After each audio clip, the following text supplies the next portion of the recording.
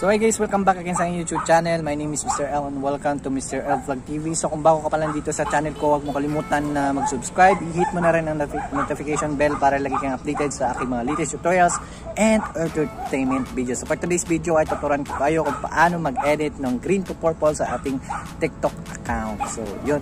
So napakadali lang itong bagong tutorial ko. I hope magustuhan niyo itong video. Keep on watching guys. Uh, let's further ado, let's get started. Bye-bye. So yun guys, nandito na tayo sa phone ko. Ang, ang una lang nilang gawin is pupunta lang tayo sa ating TikTok uh, application. Then pagbukas natin sa ating TikTok application, need lang natin na i-search sa discovery yung green to purple.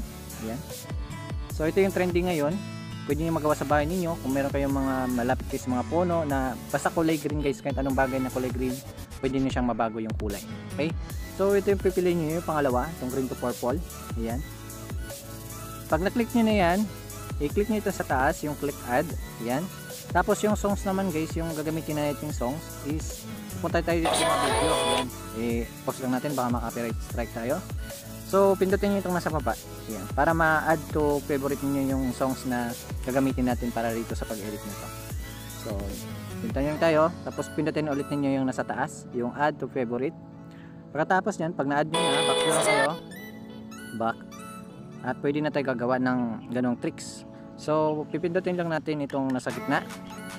Pag sa gitna ayan so nandyan yung unahan. Puro na, nasa puno tayo. So dapat guys uh, may mga puno or may mga green or ano bang plants na nandyan dapat yun ang natin ang makuha kasi yun po yung uh, applicable dito sa tricks na to. So pag nandyan na uh, punta tayo dito sa taas pindutin yung sounds. Pag pindot sa sounds guys punta kayo dito sa favorites.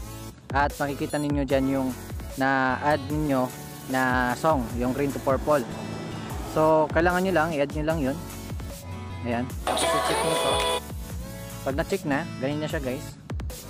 So, palitan nyo rin yung uh, video seconds kung ilang minutes, uh, ilang segundos. Meron 15, 16. So, gawin natin na 60 para hindi siya bitin yung kanyang tugtog. So, ito na. Tapos, dapat pala yung effects nyo na ninyo ay ipindutin nyo na yung inad ninyong favorites na effects yung green to purple pag napindot nyo na yan ayan. So dapat i-double tap nyo yung screen guys.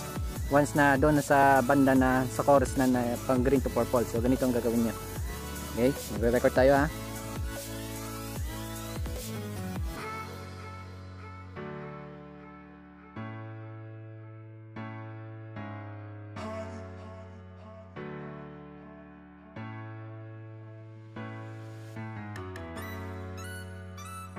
So ganun lang kadali guys na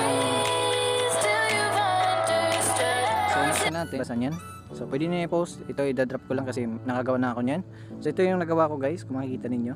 Uh, gagawin ko lang naka-mute guys yung uh, uh, na, uh, hanggang 9 lang yung seconds na i-play ko kasi baka ma-copyright ako yung songs na gagamitin natin dito. Okay?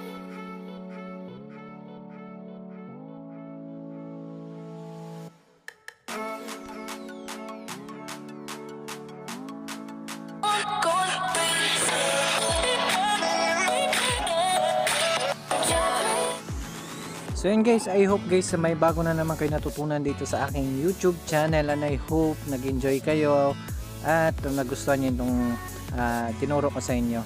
And don't forget guys na mag-subscribe sa mga sa mga hindi pa nakapag-subscribe, mag-subscribe na at i-hit niyo na rin ang notification bell para lagi kami updated kapag mga mga bago kong tricks or tutorials or entertainment videos na i-upload every weekend guys. So thank you so much guys. I hope na yun So thank you so much guys. Ako muli guys sa Mr. L and thank you for watching. Bye bye guys.